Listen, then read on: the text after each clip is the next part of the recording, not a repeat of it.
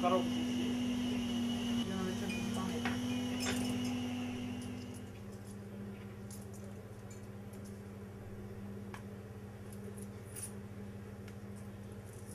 Есть такая теория очень интересная, что э, человек, вот он родился там в каком-то месяце, например. Я вот в декабре родилась.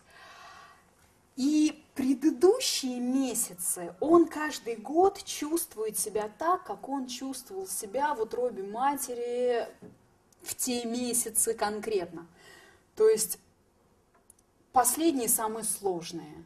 Это время перед рождением, тебе уже тесно, там неуютно и все. До этого вот по получше, получше, в середине, в начале вообще хорошо ты развиваешься. И по какой-то странной причине, раньше у меня это всегда было так, а потом я узнала про, про эту теорию, вот э, ма- то, что у меня совпадает с ней полностью. Весной я себя чувствую прекрасно, просто летом замечательно, в конце лета уже сентябрь плохо, октябрь очень плохо, ноябрь отвратительно, в конце декабря, в, в- там, в начале декабря я умереть готова просто, депрессия. Все ужасно. И вот каждый год одно и то же, одно и то же. А потом я узнала про эту теорию. А потом у меня день рождения, и как-то все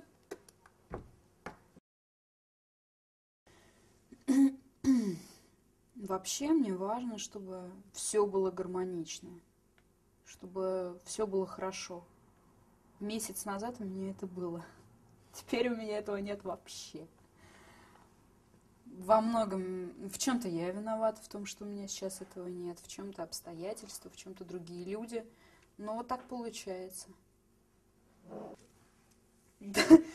Секрета нет никакого. Да, ну, съемки просто закончились сами собой, потому что они закончились. А, в спектакле у меня произошел личный конфликт с режиссером, и из спектакля я ушла. А, с молодым человеком вообще все очень сложно, потому что я его люблю, он любит меня, но вместе мы с ним, как водится, быть не можем. Ну, это вообще прекрасная, потрясающая история. А, По закону парных случаев со мной уже не первый раз. Это очень сложно. Вчера я рыдала, вот конкретно у меня вчера был выходной день, там первый за миллиард лет, и я просто прорыдалась вчера. Весь день сидела и рыдала. Подружка звонит мне. «Ты Что, что, что случилось? Ксюша. Ну вот. Все очень просто. Вот как можно за месяц потерять из абсолютно счастливого человека стать не, неудовлетворенным, несчастливым человеком. Скорее ситуация такая, там про- проблема-то скорее всего и, и в том, и в другом случае в них, но во мне проблема в том, что я не могу с этим мириться. И там, и там. То есть вот из театра, например, я просто там в скандале уходила, потому что я не могу мириться с этим. С тем, как себя ведет режиссер, что она делает, я с этим не могу мириться. Могла бы, я бы вчера играла бы в спектакле. И делала бы это замечательно и прекрасно. Это была моя роль, которую полгода репетировала, это было мое. Все было бы замечательно. Но есть какие-то личностные эм, вещи, с которыми я не могу мириться. Если бы проблема была только у одного артиста, было бы понятно, что проблема во мне. А проблема не у одного артиста, и все об этом говорят. Те, кто остались в этом спектакле, у них тоже с ней проблема. Просто они сделали выбор в сторону все-таки спектакля. Отложили личное на... Ну, вообще отложили. Не на потом даже, а в принципе. А мы не отложили личное. Ну, там просто люди по-разному повели себя. И те, и те могут быть правы, могут быть неправы, неважно. Там дело в режиссере. И она таким же образом предаст тех, кто у нее сейчас, просто они еще ее не знают, и они об этом не знают, но в скорости, если они что-то скажут не по ее, ну, они окажутся в такой же ситуации. И вообще любые люди, кто, кто будет с ней работать, они будут в такой ситуации оказываться.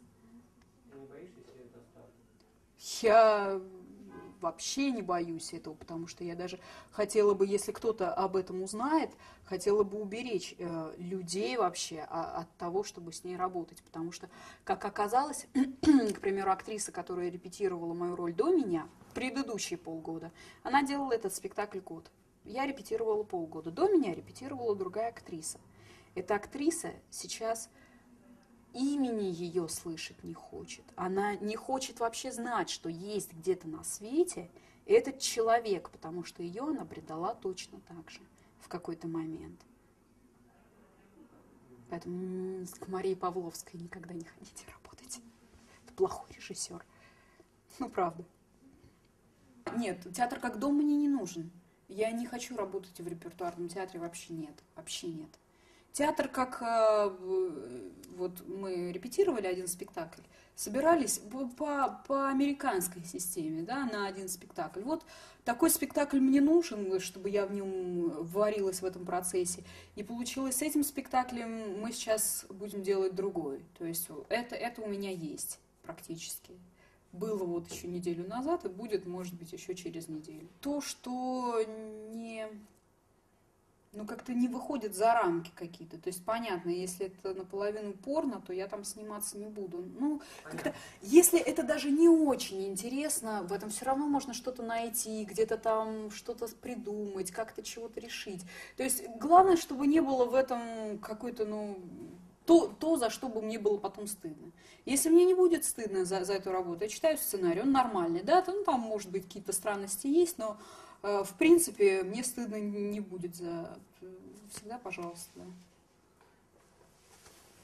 Я не могу сказать, что я до конца в целом удовлетворена. Конечно, любому человеку хочется больше, любой актрисе хочется больше играть.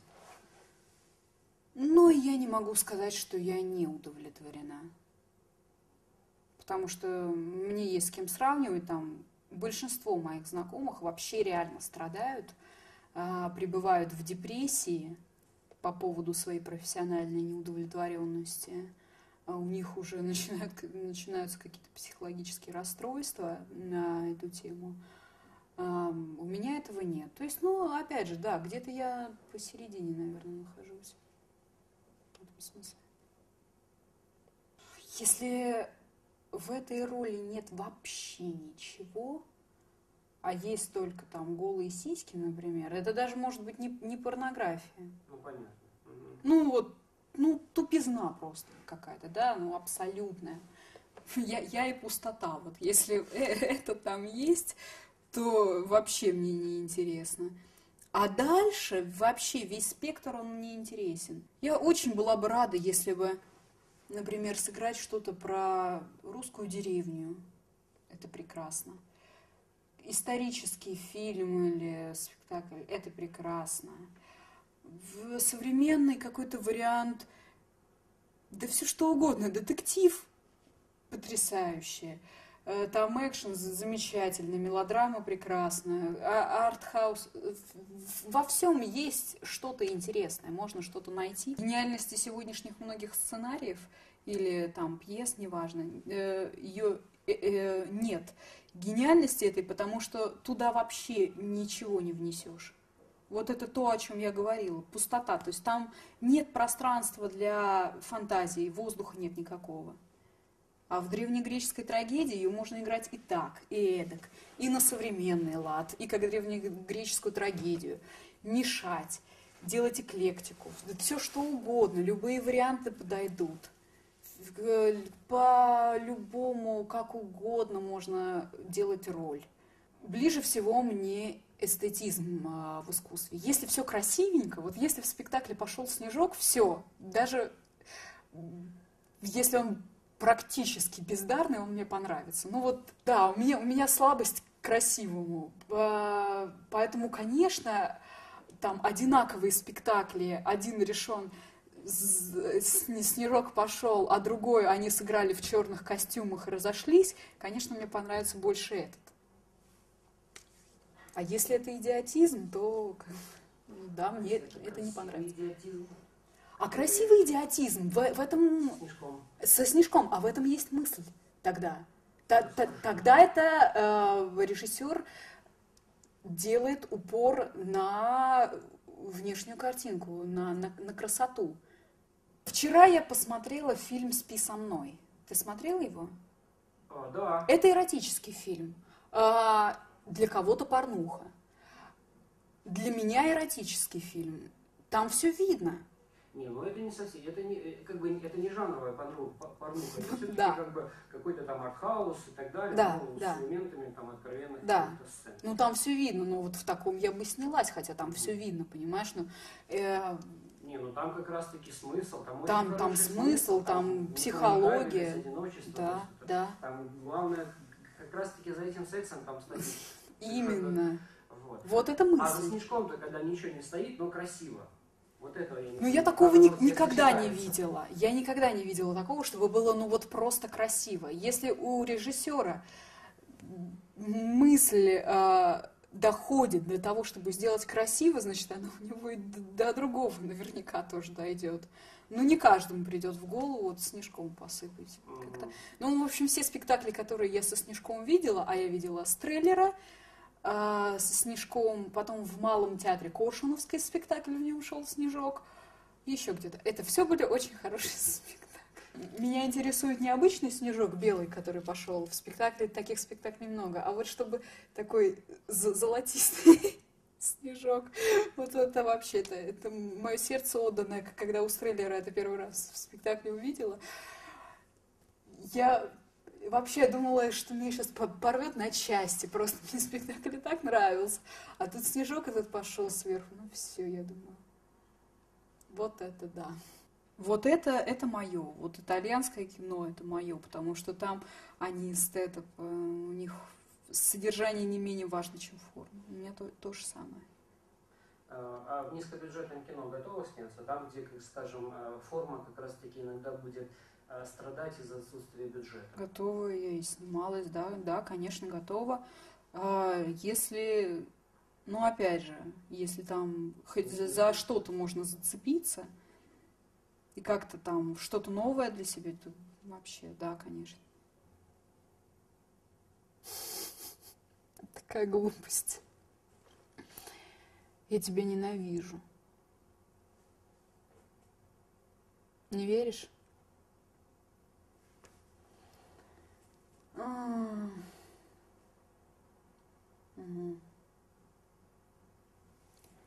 Я ненавижу тебя.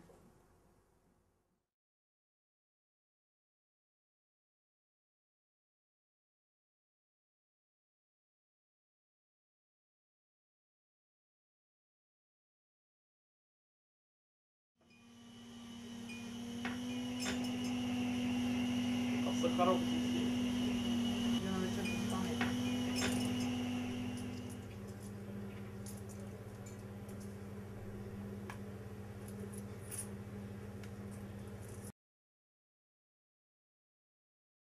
На видео он записан, да, вот этот мастер-класс, где, где она еще говорит не скрещивать ноги, я постоянно забываю. Да, да, да. Да, Да, я смотрела.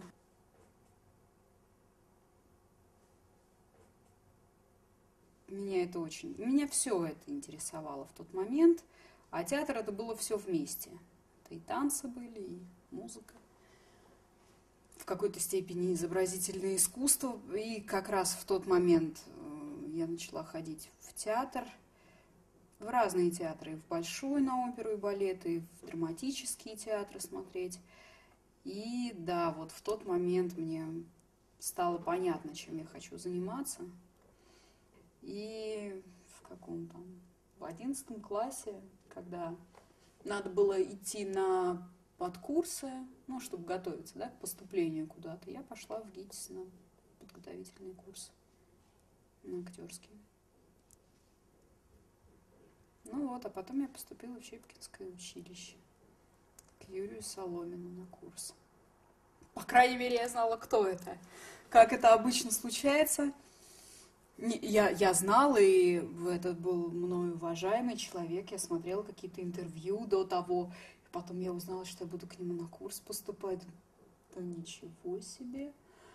А, и поступила. Во дворике стоит памятник а, Щепкину уже.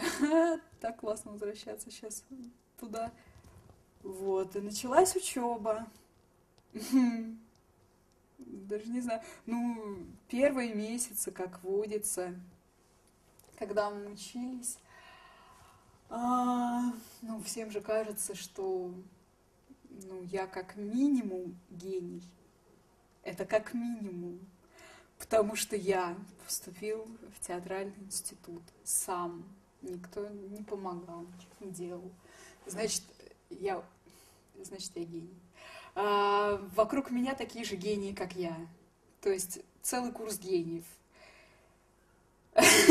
Я помню один момент очень смешной, когда Юрий Мефодич Соломин нас первый раз собрал, 1 ну, сентября или 2, ну вот первый сбор курса.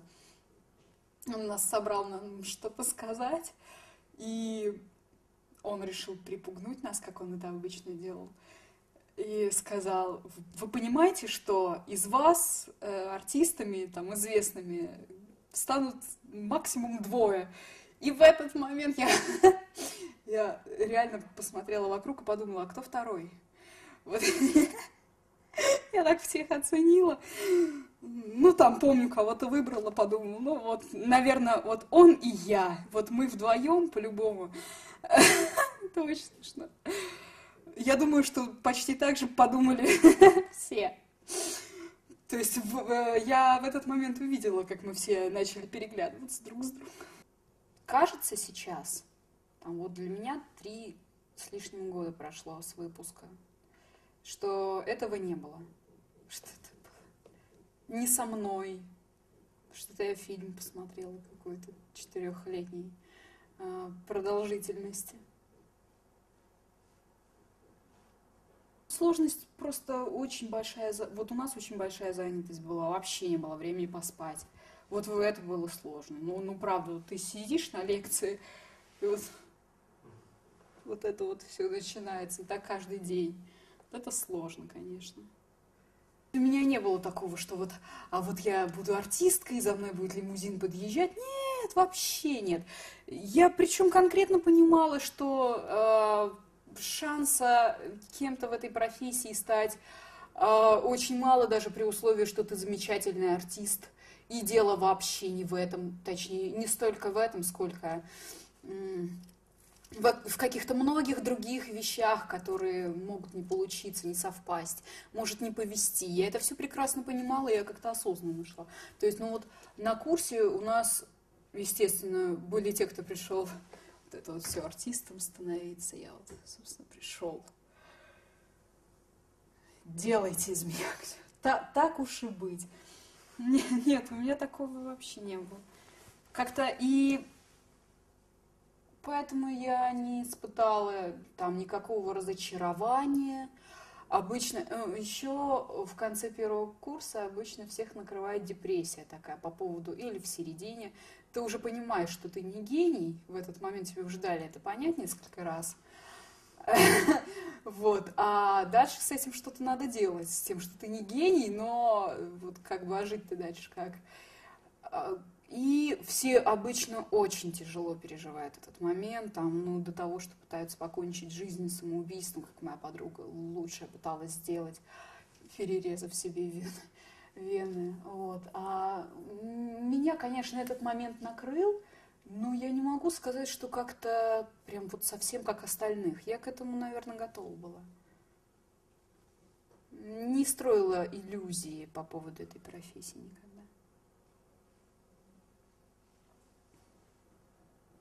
ты сейчас сказал, я не формулировала это для себя, вот так, как ты это формулируешь, да, но позиция та же самая. Я никогда не понимала, почему там какие-то однокурсники мои, например, обижаются на замечание, там, мы его звали шефа, на, на, на замечание шефа. Почему?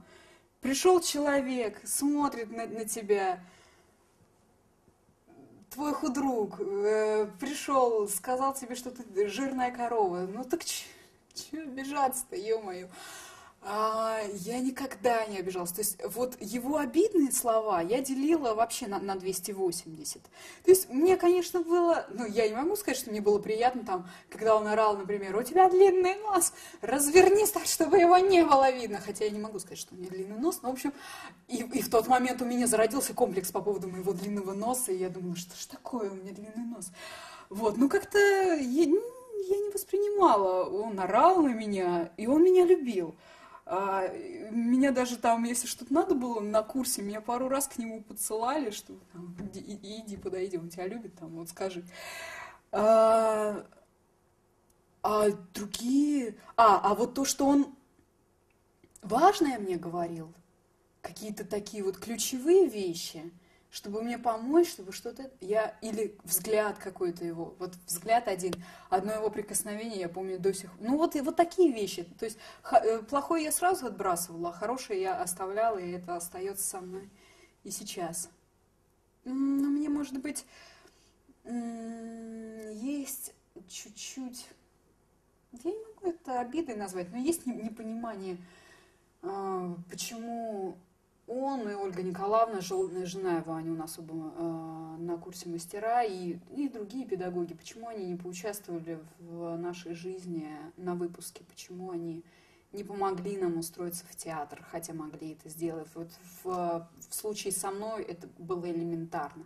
Меня уже хотели брать в ЦТРА, и там одного звонка было бы достаточно для того, чтобы меня в этот театр взяли. Но они, ни, никак они не, не... Вот и все. И на этом все закончилось. Вот это, конечно, и в тот момент я вообще не поняла этого, почему так произошло, почему они так... Зачем тогда... Ну, вот это вот все. Зачем набирать курс тогда, если мы не нужны им вообще? Я придерживаюсь того мнения, что если человек хочет учиться, особенно в высшем учебном заведении, которое он выбрал по своему усмотрению, если он хочет учиться, ему это делать несложно и приятно, и он многому сможет научиться. А если он это делает э, одной там левой пяткой, то и как бы, ну и чего. Я делала все, я ходила на все лекции. И были лекции, на которых я сидела одна. Никто не ходил на них, я одна на них сидела. Я и педагог. Всегда просыпалась в нужное... Ну, в общем, мне нравилось это, и мне не хотелось чего-то пропустить, потерять по, по, по глупости по какой-то, а потом думать, а вот я ж могла бы, а я не думаю так сейчас, я от образования я взяла все. Когда мы выпускались три года назад, и мы были равны во всем, мы были одинаковые. У нас на курсе не было перекоса какого-то, что вот ты будешь звезда курса и будешь играть во всех дипломниках главную роль, а вы там все давайте чешите в массовку. Вообще не было этого. То есть мы выпускались, мы реально были одинаковые.